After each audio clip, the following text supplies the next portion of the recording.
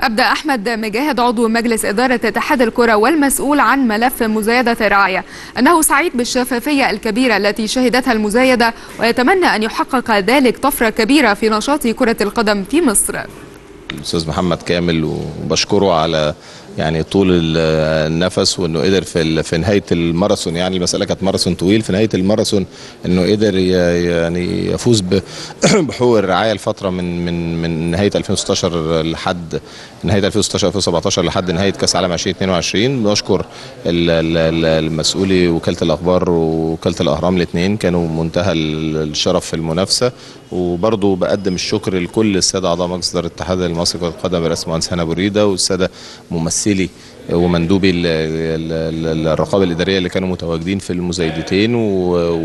وأضفوا على المسألة يعني يعني كل المعايير الشفافية والنزاهه